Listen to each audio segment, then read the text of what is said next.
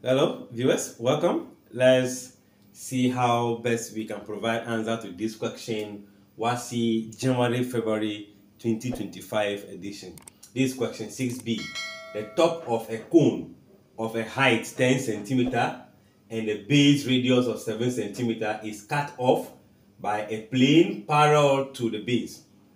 If the distance between the plane and the base is 3 centimeters, we are calculating the volume of the remaining object.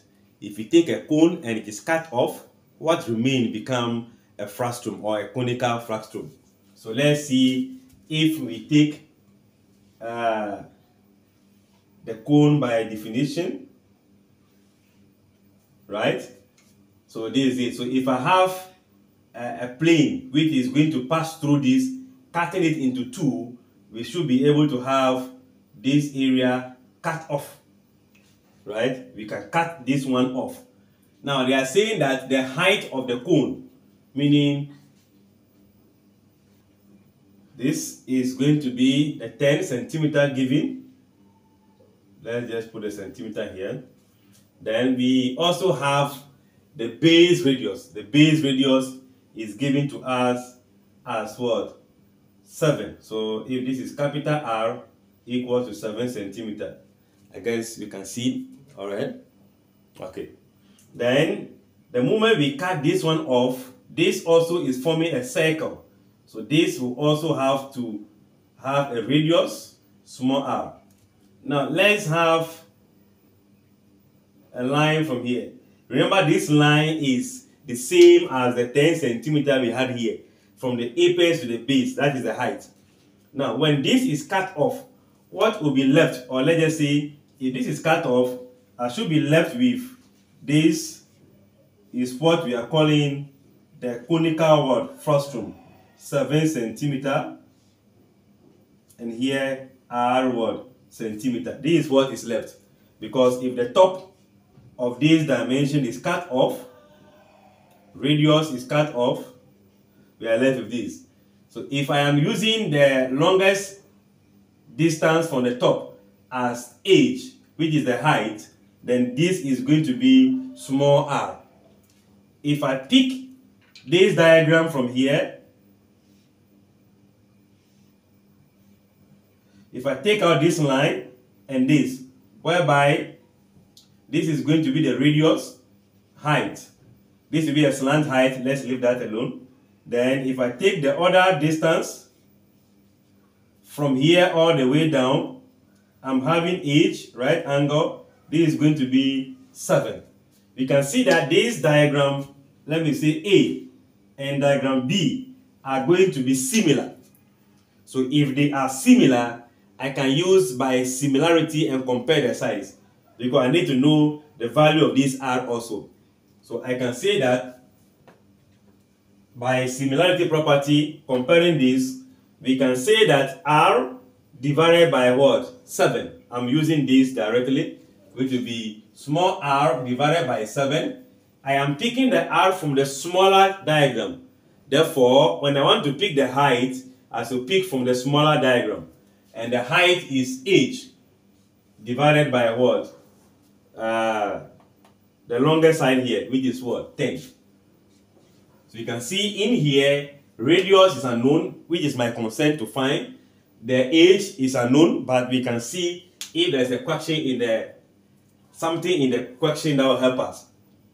If the distance between the plane here, the distance between the plane and the base is what? 3 centimeter.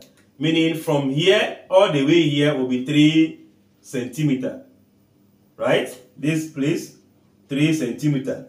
So if here is 3 centimeter, the remaining should be 7. Meaning here will be 7 centimeter equals to what? H.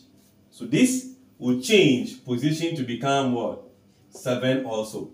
So now R is the only thing needed to find. So we cross multiply as you have 10r, okay, let's put it this way, 10r equals to 49, that make your r equals to 49, okay, let me just say 4 like this, to occupy, to manage the space. we are dividing both sides by 10. So R will be 4.9 centimeter. Okay. Now there are two ways by which we can find the volume. The direct formula and also step by steps. Step by step means that if this is a, a cone, a bigger cone, I can find the volume of that. Then find the volume of the one I've removed. Then I'll be left with what is left. This one. So the volume of the bigger one minus the volume of the smaller one will give me what is here. So I only say that volume of larger cone. Remember, it is also a cone, so it is one third of the volume of a cylinder. So pi r squared h. Can we do substitution? That will mean 1 out of 3 times pi, which we have been given as 22 on 7 times r.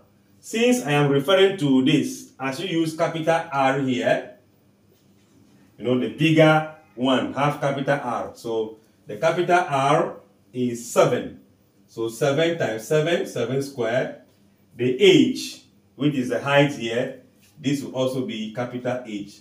And that will give us 10. Alright, remember, this will be going here 7 times. 7 times this 70. 70 times this divided by 3. Let's put that in our calculator and see what that will be. So that will be giving us 513.33 volume. So centimeter cube. Let's leave it in two decimal places.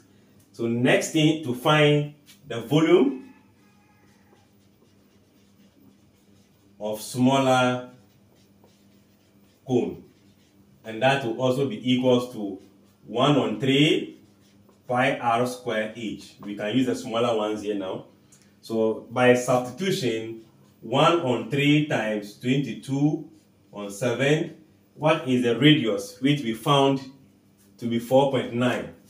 So 4.9 all squared times the height.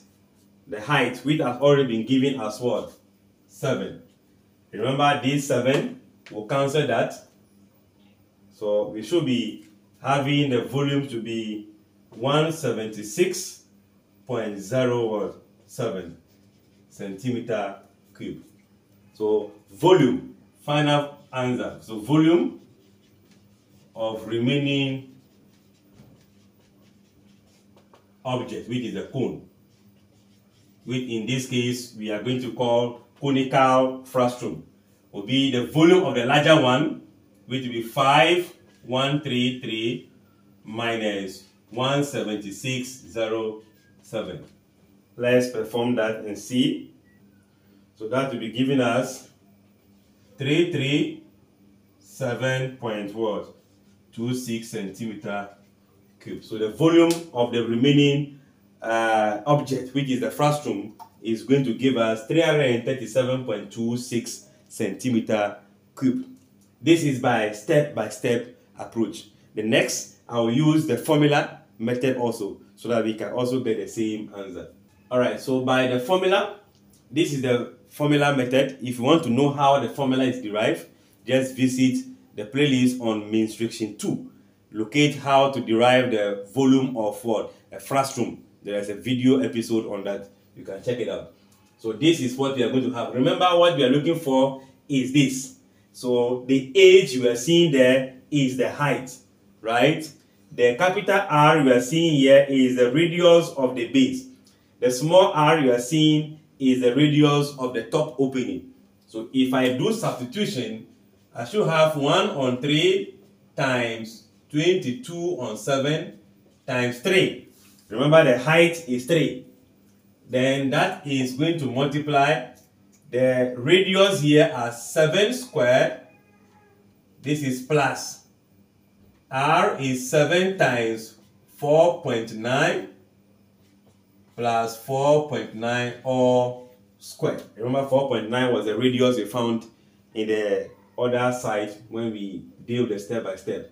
So we can put all this in our calculator. Okay, let's say this will cancel this. So 22 over 7. Now left with 49 plus